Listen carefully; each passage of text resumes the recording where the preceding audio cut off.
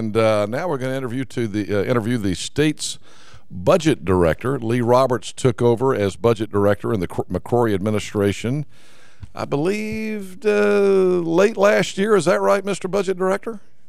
It was Labor Day last year. Yes. Yeah. Good morning, Henry. How are How you? are you? Lee Roberts on the telephone with us live from Raleigh this morning, and uh, in the, and of course, if you don't know what the state budget director does, he's one of the top advisors to the governor and um, he uh, is pretty much in control of the money for the state.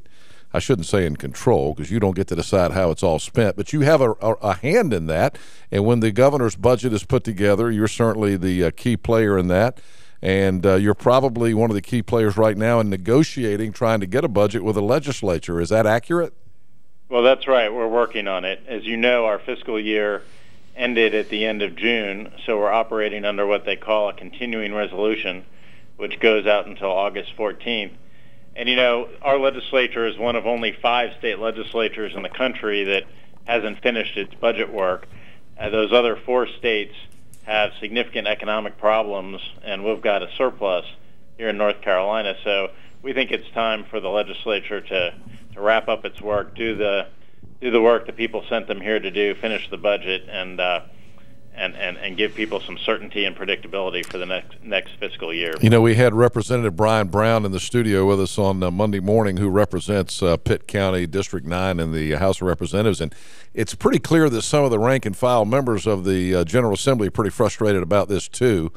Uh, he, he, was uh, frustrated that you know the the conference committees have been uh, appointed, although you know uh, unprecedented large number of people, and I don't know if that's really going to work, but or how they're planning to make it work. But he's saying, you know, here we are in the fourth week of July, and nothing's really happening on the budget. Uh, and so uh, you kind of wonder when they're going to get down to it. I guess uh, they've got to do it sooner or later, right? they do have to do it sooner or later, hopefully before August 14th. And I think there is some activity. There's time to to get it done before the 14th, but uh, it, it, requires working hard between now and then.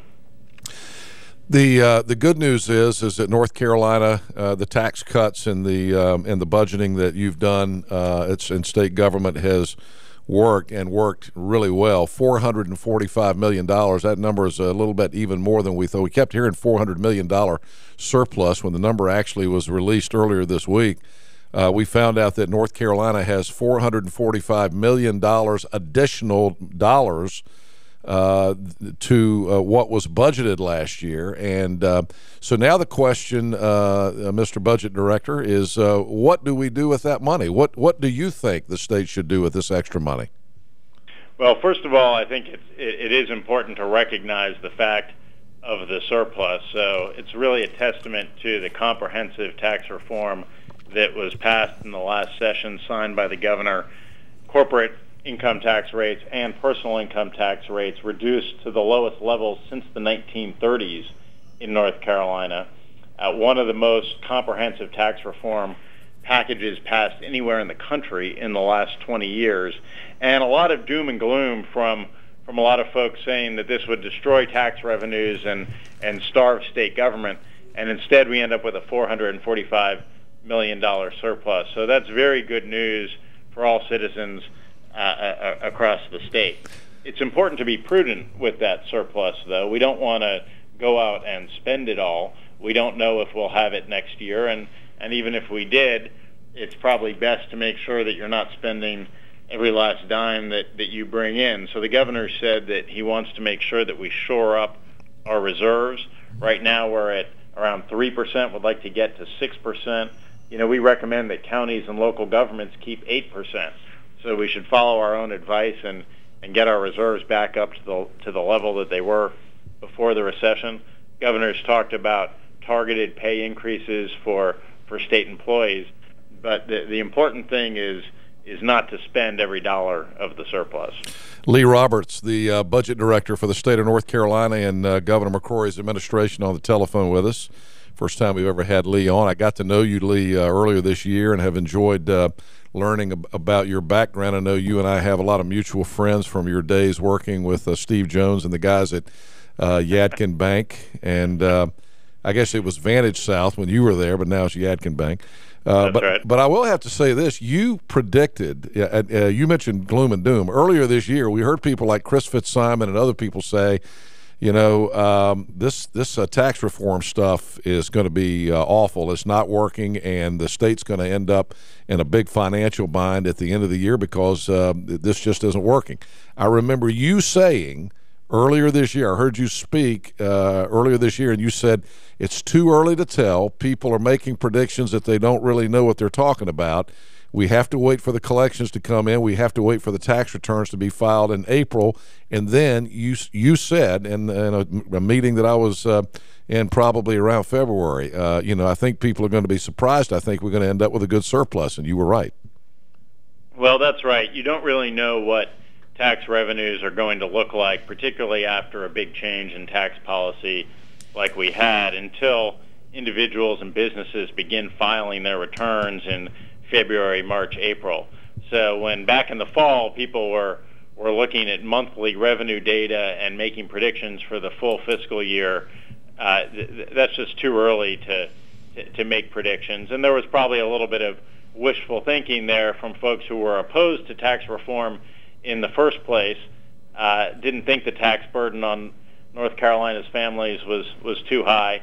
Wanted to keep it in place, uh, hoping that that would pay a price for that down the road. But the, the governor and the General Assembly thought taxes on, on North Carolina's families were too high, pushed through a comprehensive tax reform program that's still taking effect. Tax rates will will decline even further in the next fiscal year, and that's that's a good thing for North Carolina's families.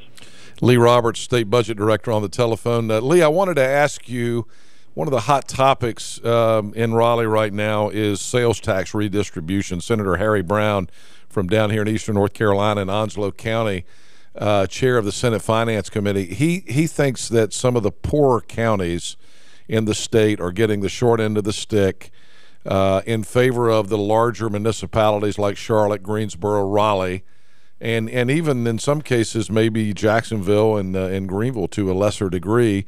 Uh, there are a lot of poor counties in eastern North Carolina that are struggling to uh, to make their county budgets and, and those kind of things and pay for schools and these kind of things.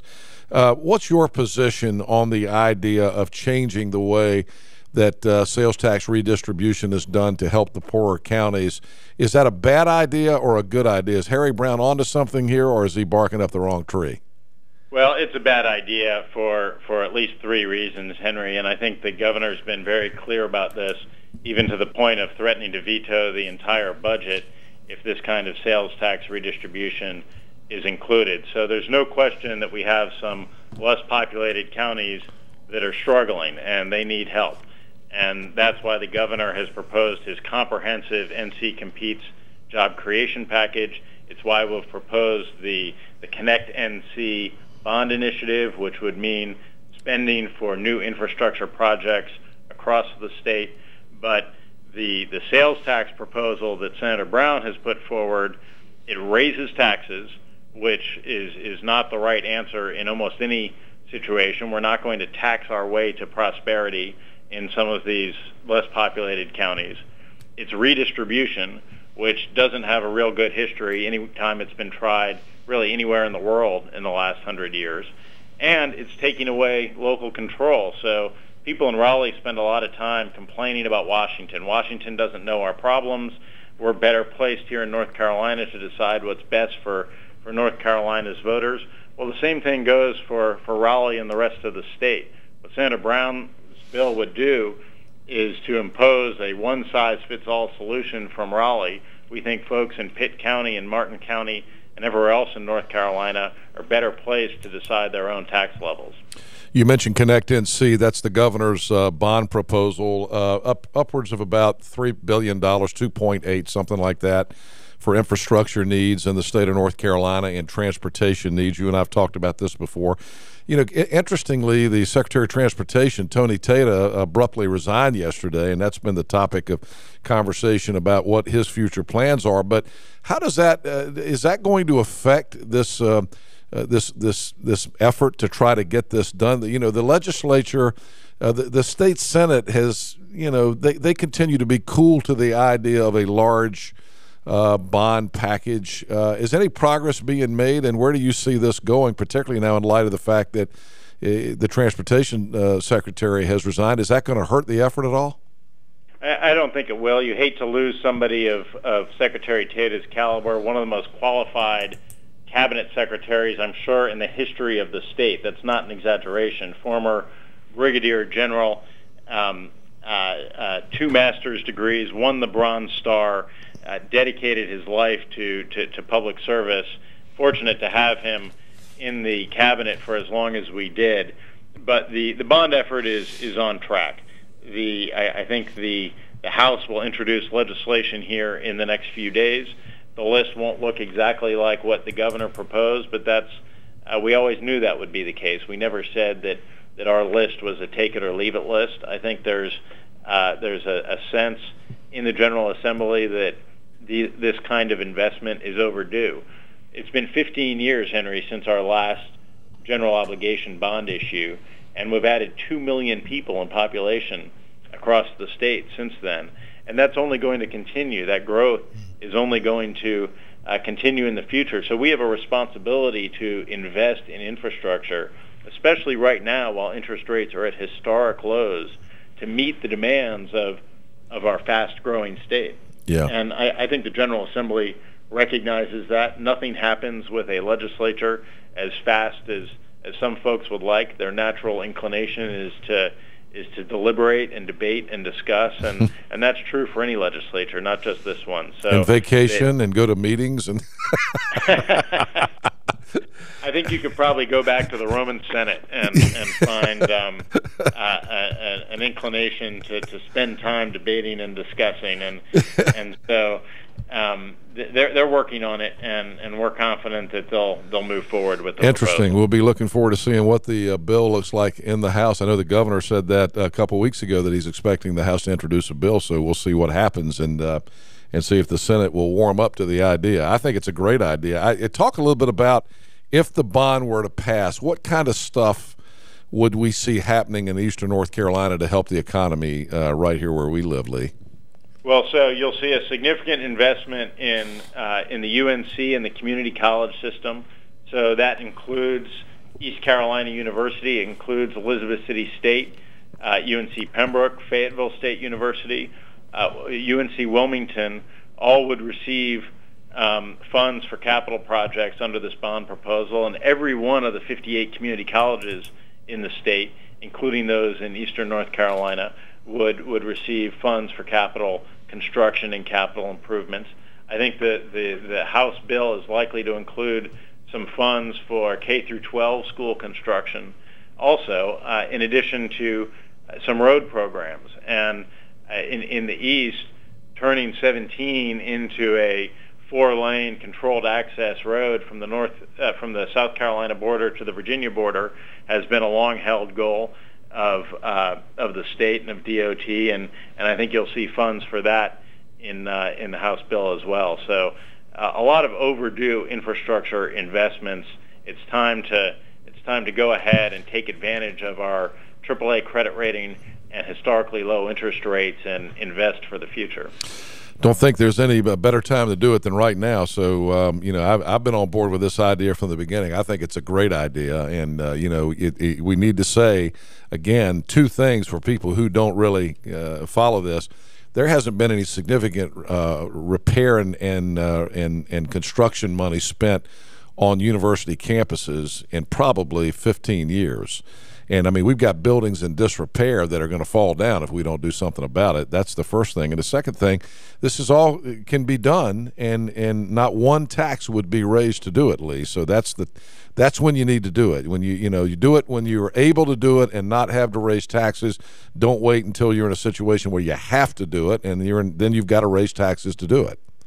That's exactly right. Uh, we're paying down our existing debt very quickly, so we have ample debt capacity. It does not require raising taxes. Sometimes people wonder how you can borrow uh, what, what, by any measure, is a bunch of money and not raise taxes. And the answer is that we're paying off our existing debt so so quickly. And you're right about the need, particularly when it comes to training the workforce of the future.